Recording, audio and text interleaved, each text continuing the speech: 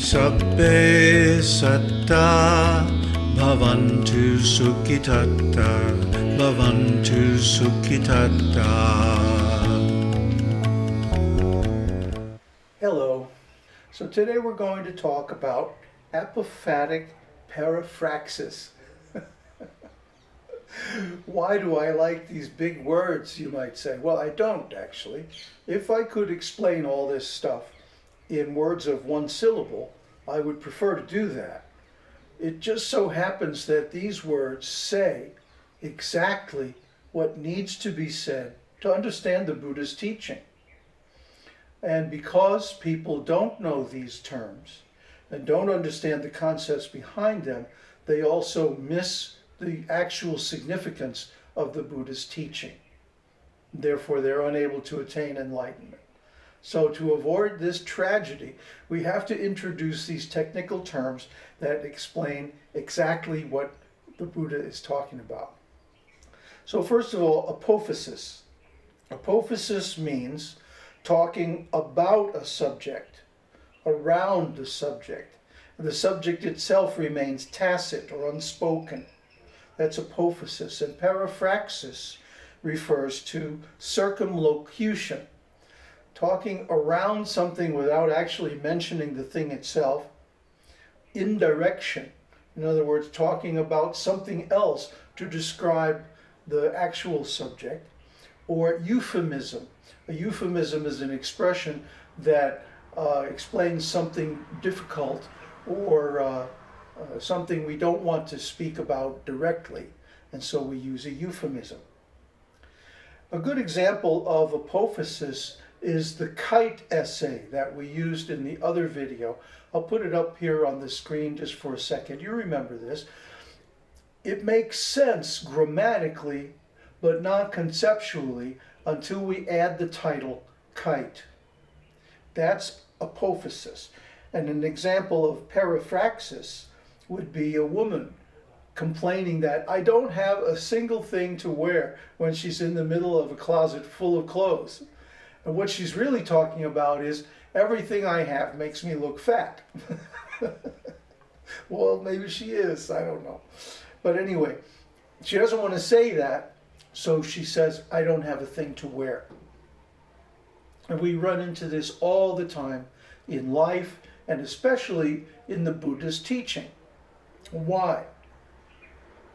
Well, before we get to that, another example of both apophasis and periphraxis is this series, this teaching, these videos.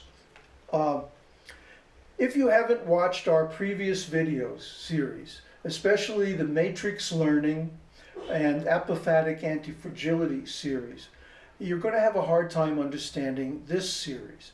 And the reason for that is that we treat that material as apophatic. In other words, we assume that you already know it and are familiar with it, have mastered it actually, and now you're ready to see how it applies in the Buddha's teaching. So if you haven't already watched our previous series, you really should go back and take a look at them. Otherwise, you're not going to understand what we're talking about because we don't have time to explain everything in one video. the video would be 100 hours long. So, similarly, the discussions in the Buddha's teaching, in the suttas, will not make much sense unless you understand the actual subject matter is Nibbana. Nibbana is the aim, the core, the essence, uh, the subject, actually, of the Buddha's teaching. But the Buddha doesn't mention it in every sentence. He doesn't mention emptiness. He doesn't mention uh, dependent origination or paticca samuppada in every single paragraph. Yet, these things are there lurking in the background. And if you're not familiar with them, you'll have a hard time putting the Buddha's teaching in context. So the Buddha uses apophasis he uses periphraxis all the time in his teaching.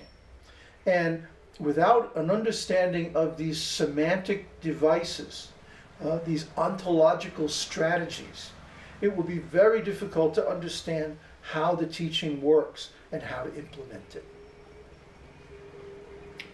So Nibbana is apophatic in the suttas. Nibbana is given in the suttas as an axiomatic, undefined, and indeed an indefinable term. And the whole of the Buddha's teaching revolves around it. So Nibbana transcends everything, including being, non being, conceptual thinking, language, even consciousness. So it's very difficult to talk directly about Nibbana. Therefore, the Buddha talks around it. He treats it apophatically. Starting to make sense now?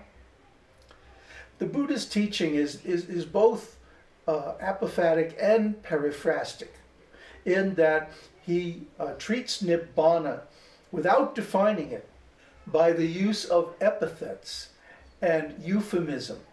For example, he uses the term the end, the goal, the rock, the island, the far shore, extinction, cessation, all as synonyms for nibbana, without saying nibbana directly, because nibbana cannot be spoken about directly. It can only be spoken about indirectly, especially in terms of what it is not. So, this is the actual mood of the Buddha when he's giving his teaching, that he's talking about nibbana without mentioning nibbana. This is periphraxis. Now, why is this important?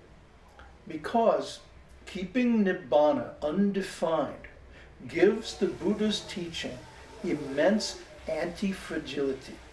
And if you haven't understood what anti-fragility is, go back and look at our series, Apophatic Anti-Fragility, and then you'll understand, or you'll understand more.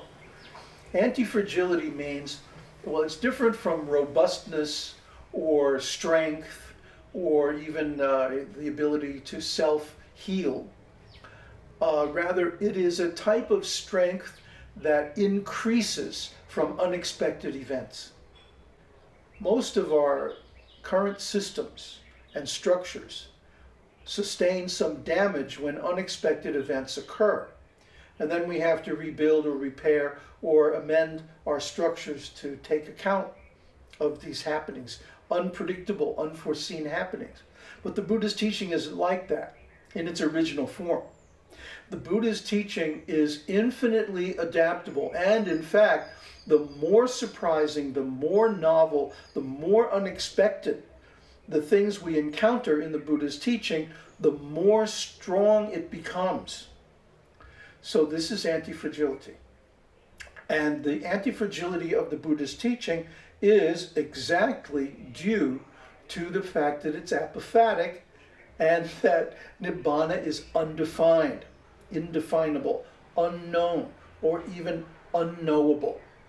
Now we're talking about papancha.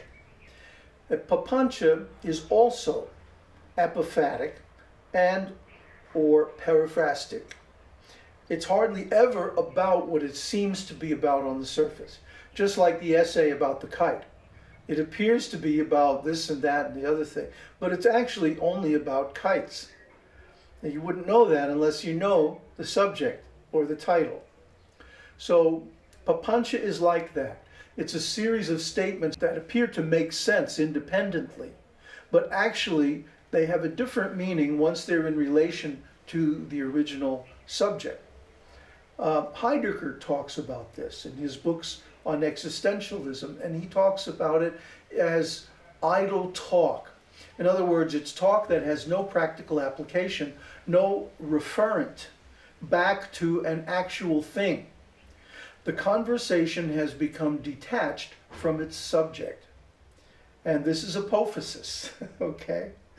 So, idle talk or papancha, the proliferation of conceptual terminology, is more or less disconnected from its source, its actual meaning, or the reality that it's supposed to represent. This happens especially as a function of verbal forms, grammatical forms. For example, verbs are said to conjugate, which reminds us of biological proliferation, uh, conjugal, uh, from roots, verbal roots, into a variety of tenses past, future, present, progressive, and numbers, singular, plural, and persons. The subject, the object, the indirect object, the causal object, and so on, depending on the complexity of the grammatical functions of the particular language. And nouns decline from the nominative or subjective to the accusative or objective, and they may have a bunch of other forms such as gerundive and uh, possessive and so on and so forth. And these are called different cases of the noun. So papancha is already there in the structure of language. And as soon as we take any noun or verb, we can use the rules of grammar to generate unlimited more forms and combinations of forms just by grammatical rules. Whether or not they make any sense in terms of the actual subject is a different story. So it's easy to talk nonsense without any referral back to the original subject, which by this time has become obscured and forgotten by the words themselves. So let me read some quotes from Concept and Reality. The expansion or diffusion of thought, as envisaged by Papancha, tends to obscure the true state of affairs, inasmuch as it is an unwarranted deviation giving rise to obsession. This particular nuance in the meaning of the term becomes obvious when papancha is used to denote verbosity or circumlocution, periphraxis, in other words. In fact, it is probably this latter sense found in common usage that has assumed a philosophical dimension with its transference from the verbal to the mental sphere. In other words, the same phenomenon that we know in ordinary speech as run on language, huh? the drivel of uh, trivial statements about nothing in particular, uh, idle talk, transferred from verbal to the mental realm becomes papancha, and especially papancha sanya sankha. This uh, tornado, this whirlpool, this uh, centripetal force, network of meanings, all circling around nothing, because the original meaning has been lost. Like the legendary resurrected tiger, which devoured the magician who restored it to life out of its skeletal bones, the concepts and linguistic conventions overwhelm the worldling who evolved them. At the final and crucial stage of sense perception, phassa or contact, the concepts are, as it were, invested with an objective character. This phenomenon is brought about mainly by certain peculiarities inherent in the linguistic medium. As a symbolical medium, language has an essential public quality about it. This public quality has necessitated the standardization of the symbols, words, as well as of the patterns of their arrangement, grammar, and logic. And these, therefore, enjoy a certain degree of stability. Thus, the letter, as the smallest unit of language, was called an aksara, stable or durable, and language itself was associated with God and eternity by the ancient Indian philosophers. Now, the vague percepts, which are already tainted with the notion of stability owing to the limitations of the sensory apparatus, become fully crystallized into concepts in the realm of ideation. Nouns, abstract nouns, adjectives, verbs, and adverbs, in short, the whole repertoire of language, assumes a certain substantial character by virtue of its relative stability. It is probably this particular phenomenon that is hinted at by such oft recurring phrases in the suttas as tamasa paramasa abhinivissavoharanti. Having seized tenaciously and adhering thereto, they declare such and such. And takka pariyahata, hammered out on the anvil of logic, cited in connection with dogmatic theories, which themselves are called ditthijala, veritable networks of views. This vicious proliferating tendency of the worldling's consciousness weaves for him a labyrinthine network of concepts connecting the three periods of time through processes of recognition, retrospection, and speculation. The tangled maze, with its apparent objectivity, entices the worldling and ultimately obsesses and overwhelms him. The Buddha has compared the aggregate of consciousness to a conjurer's trick or an illusion, Maya, and we may connect it with the above mentioned image of the resurrected tiger. So this is a mouthful.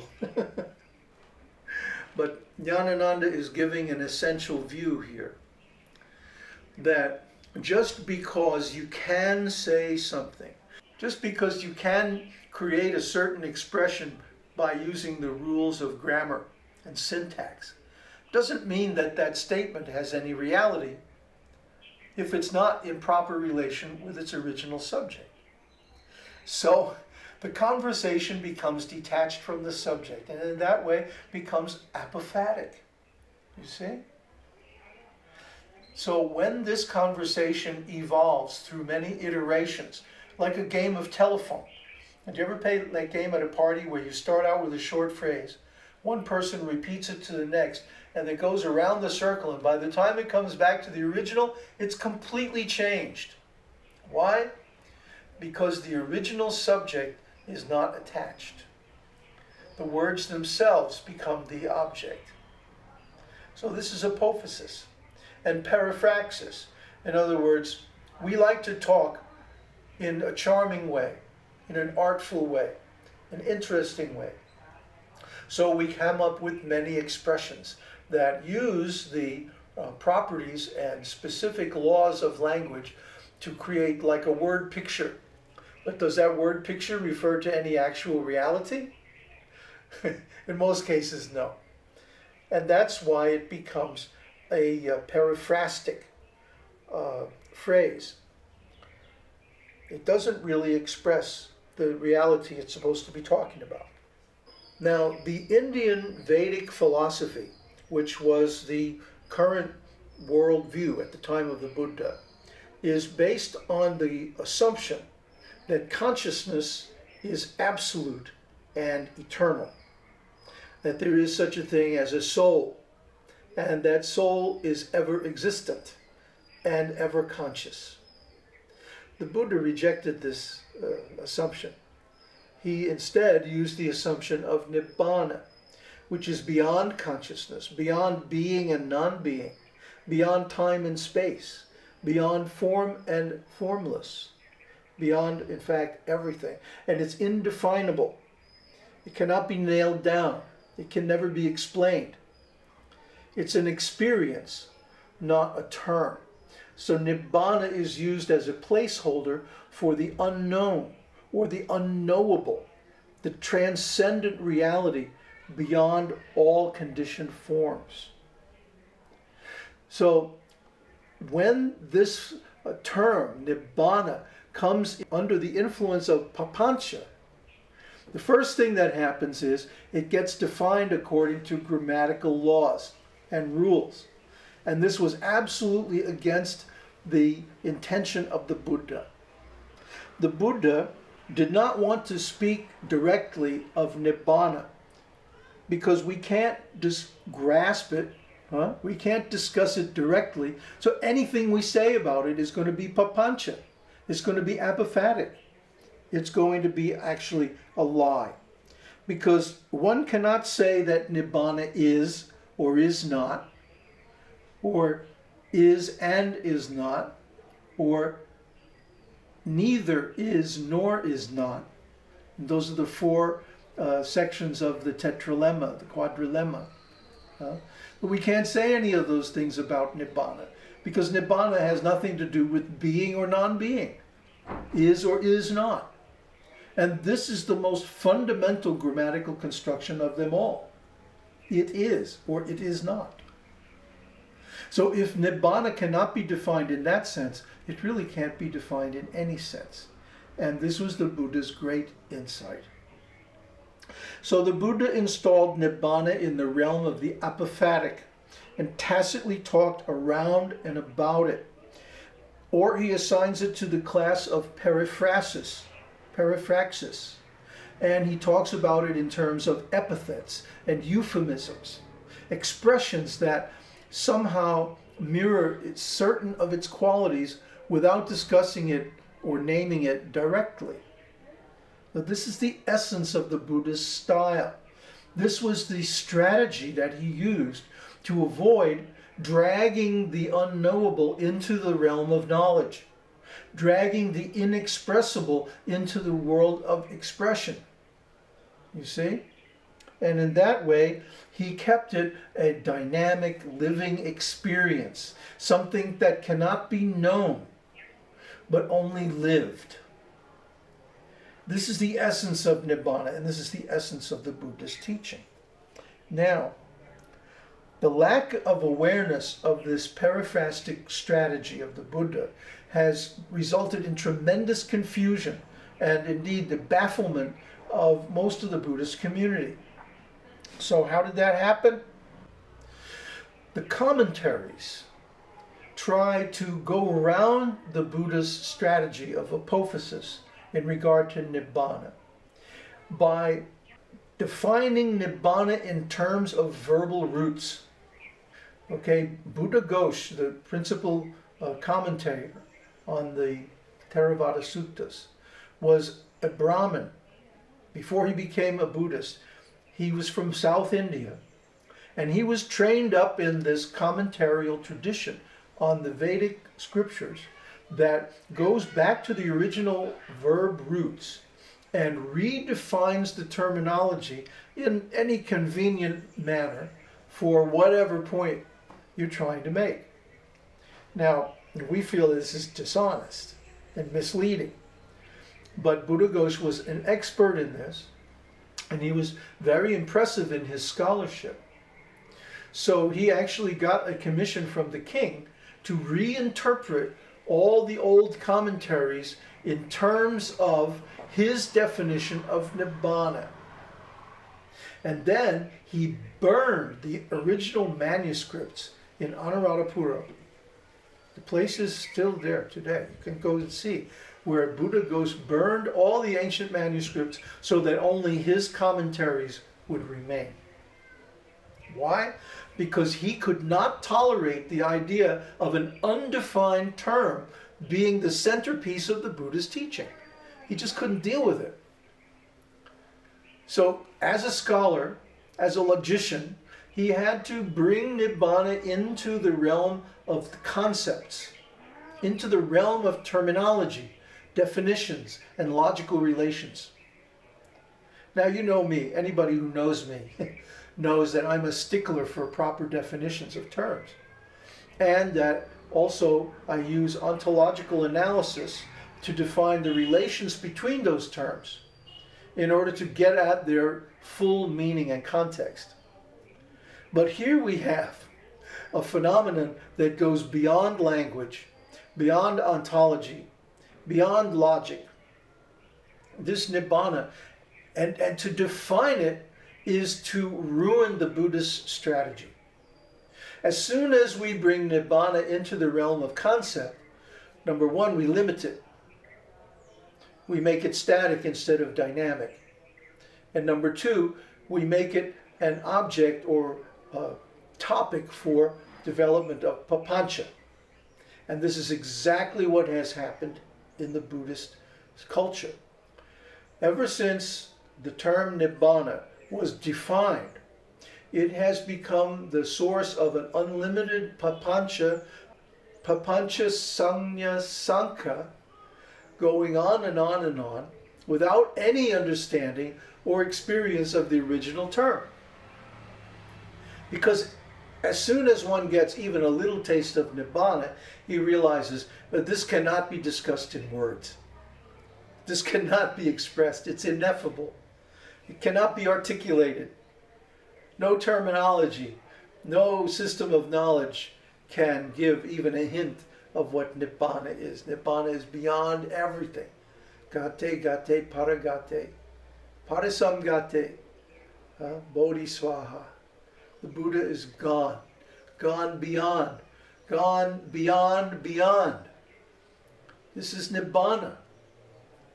So, how can you say what this is? How can you uh, apply terminology and logic and grammar to it?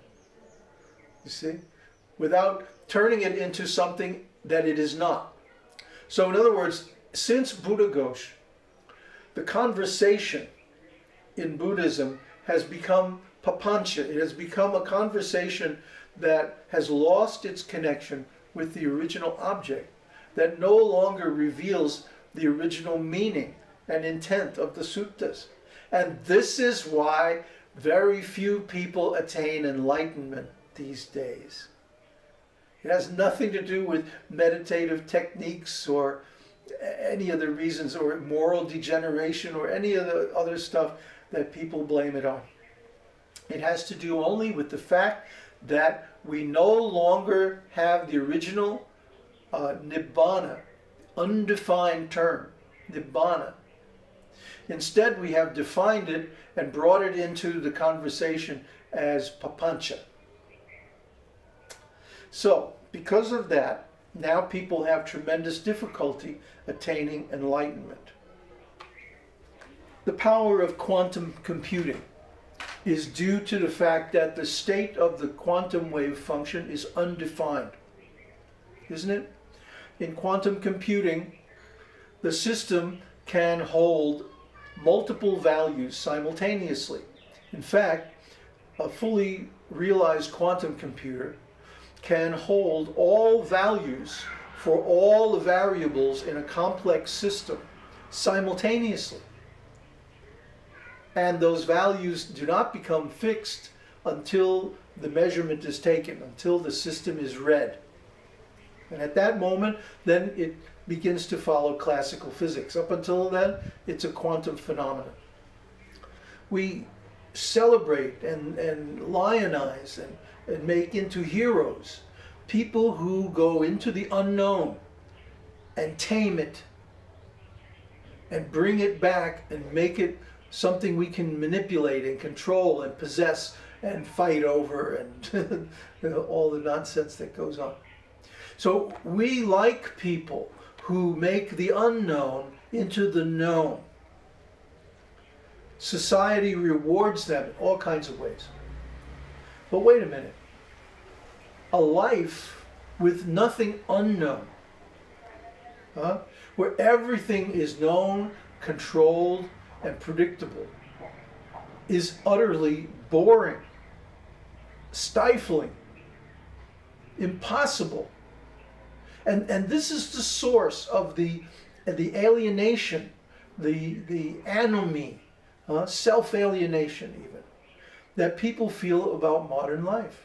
This is why there's an epidemic of suicide and nihilism in society today.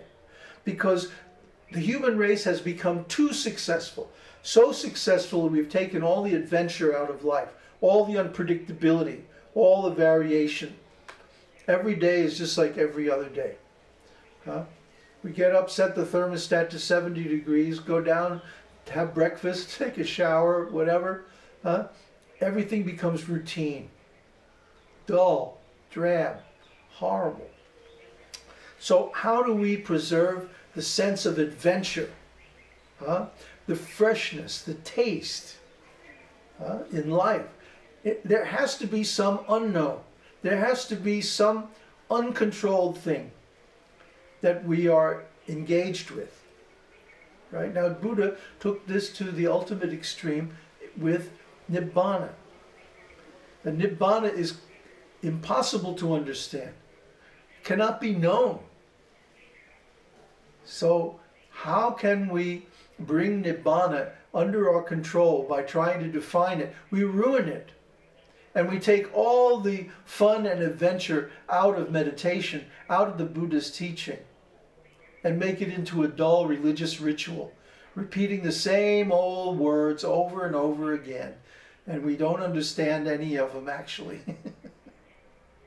this is going on.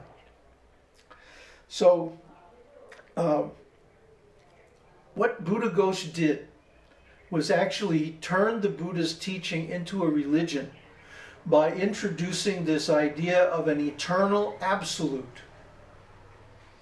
He made Nibbana, in other words, occupy the same position as God in the Vedas. And of course, he's going to do that. That was his whole training, that was his whole background.